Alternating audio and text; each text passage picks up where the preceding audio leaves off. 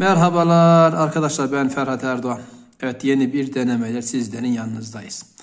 Evet arkadaşlar hangi yayınla derseniz 3D yayınları Türkiye Genel Kurumsal Deneme AYT 3 matematik sorularıyla başlayalım. Haydi. Evet arkadaşlar çözenler nasıldı bilmiyorum. Zor diyenler var, kolay diyenler var. Standart üstünde diyenler var. Uygun diyenler var, her şeyi söyleyenler var. Ağzı olan konuşuyor arkadaşlar. Haydi beraber çözelim. Birinci sorumuz.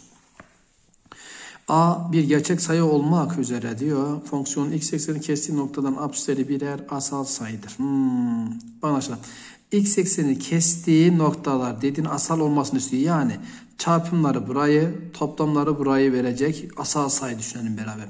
Toplamları 25'i veren hangi sayılar var? Evet. Şöyle düşün. 2'ye 23 desem. Evet. 2'ye 23. 2 de asal, 23 de asal. Toplamlarda 25. O zaman x eksi 23 köklerini buldum. x eksi 2 çarpı fx fonksiyonu dedik arkadaşlar. Tamam devam ediyorum. Apsisleri birer sayı. Buna göre diyor. X yerine yaz diyor. X eksi 1 yaz diyor. Yazalım burada. X yerine X eksi 1 yazıyorum. Ben şunu bulacağım.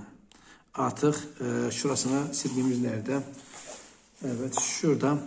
X yerine X eksi 1 yazıyorum. Buna da e, Gx fonksiyonu diyeyim. Ben arkadaşlar Gx fonksiyonu oluşturuyorum. X yerine yazıyorum. X eksi 1 böyle.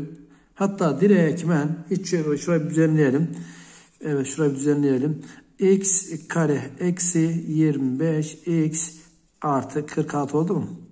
Haydi şurada yerine x yerine yazalım. x eksi 1 bölü 2'nin karesi. Eksi 25 çarpı x eksi 1 bölü 2 artı 46.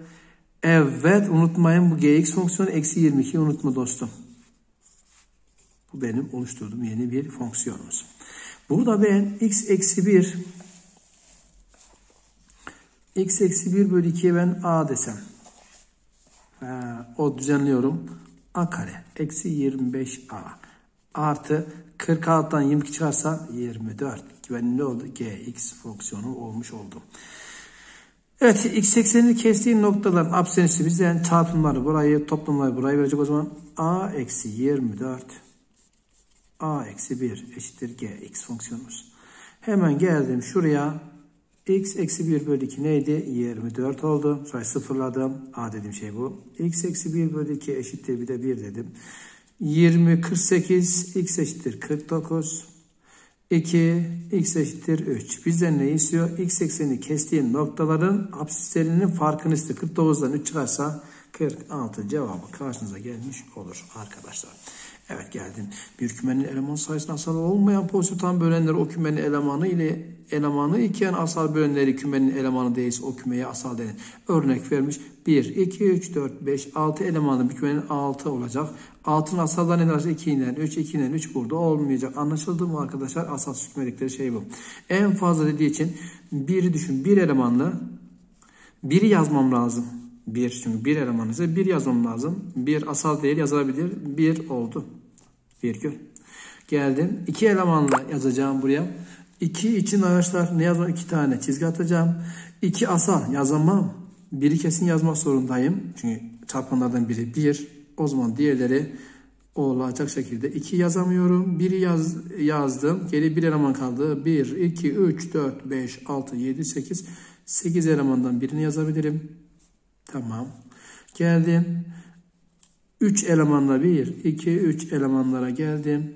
3 asal sayı 3'ü buraya yazamayacağım. 3'ü yazamayacağım. 1 yazmak zorundayım. 3'ü yazmadım. O zaman geriye kaç kalıyor? 1, 2, 3, 4, 5, 6, 7, 8. 8 elemanın ikisini yazmak zorundayım. Kombinasyon. Geldim 4 elemanlı en fazla 4 eleman istiyor. 4'ün asalı nedir? 2. 2 yazamayacağım buraya ama 1 yazabilirim. Kendisini yazabilirim. Geriye kaç eleman kaldı buraya? 1 yazacağım. Yazdım. 4'ü yazdım. 2 asal olduğu için bunu yazmadım geriye. Şunlar gitti yani. 1, 2, 3, 4, 5, 6, 7. 7'nin ikilisi. Evet arkadaşlar. 1 var artı 8'in birlisi var artı 8'in ikilisi var artı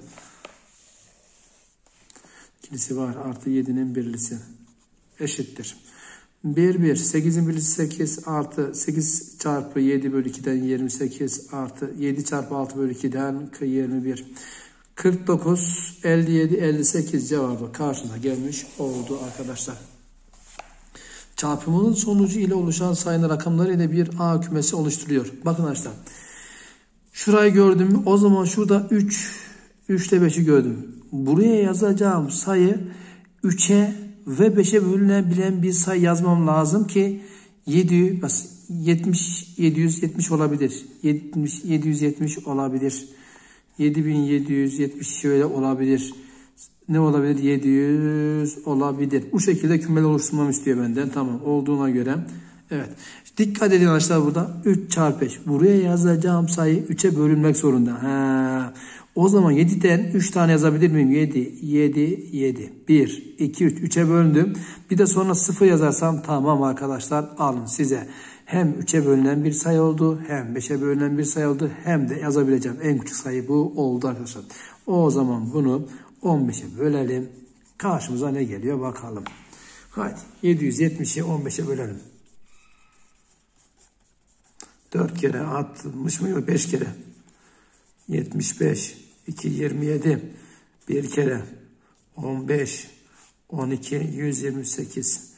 5 bir daha 8 bir daha 9 5 daha 14 oldu rakamları toplamı bu oldu arkadaşlar karşımıza gelmiş oldu.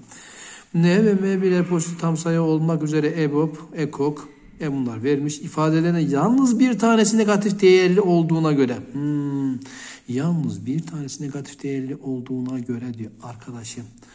11'i gördüm. Buraya ben 1 de desem burası 11 olur. Bu kesin negatif değerli. Bu negatif değerli. Anlaşıldı. Buraya 2 de versem olmaz. 22 olur. 3 versem 33 olur. 1 versem 11 olur. Bu negatif değerli bu. Bunlar kesinlikle pozitif olacak. Haydi bakalım o zaman. Aa, şimdi şöyle düşünün. O zaman burası ne eşit olabilir? Sıfıra eşit olabilir. Hocam M'miz ne oldu? Kesinlikle 80 oldu. Çünkü başka. EBOB her zaman küçükten küçük çıkmak zorunda. Doğru değil mi? Ben buraya 70 ee, yazsam EBOB'u 10 olur. 10 olur. Ekoku oho çıkar. Şuraya geldim arkadaşlar. EBOB ondan büyük olmak zorunda. EBOB ondan bu 80 değil miydi? Evet. Hocam eğer burada sıfır eşit olsun. Çünkü pozitif değil. Ne diyor burada? Yalnız bir tane negatif değerli olduğum veya artı net hangisi olabilir diyor. O zaman ben burasının sıfır olabilir. O zaman buraya ben 10 desem e bu 10 oldu. 10'dan 10 çıkar 0 oldu. Tamam arkadaşlar.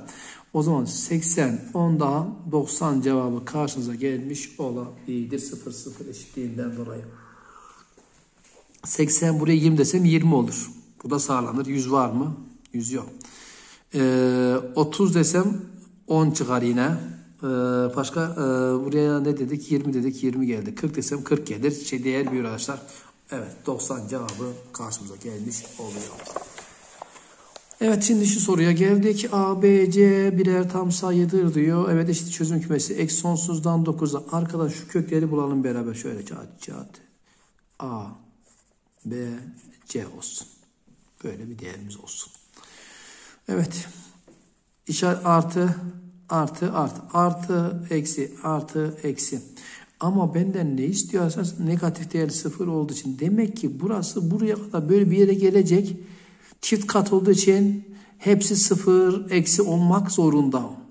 He, şimdi üç kök olmuyor. Burada bir tane x eksi dikkat edin 5'in 5'i dahil olmadığı için x eksi 5'in karesi olsa x eksi 5'in karesi dahil. O zaman eksi sonsuzdan arkadaşlar şuradan a ile b 5 eşit olabilir. A ile B 5 eşit veya C ile B 5 eşit olabilir arkadaşlar. Hemen şöyle yapıyorum. O zaman ben kümemi şöyle bir şey oluşturuyorum. Burada çift kat kök var. Anlaşıldı mı? Evet. Eksi eksi artı olacak. O zaman burası nerede bitiyor? 9'da bitiyor arkadaşlar. Niye 5 dahil değil? Çünkü sıfıra eşit olmadığı için. Sıfırı ben eğer 5 yazarsam sıfır odur. Ondan dolayı olmuyor arkadaşlar. O zaman ne oldu? B'miz 5, bu 5, A'da ne oldu? 9 olmuş oldu arkadaşlar. 5'imiz çift kat kök var burada. Diğerinde kök yok yani x eksi 9. Şöyle bir şey oldu. Anlaşıldı mı arkadaşlar? Artı, eksi, eksi gibi bir değer gelecek burada. Bu da bu. Evet.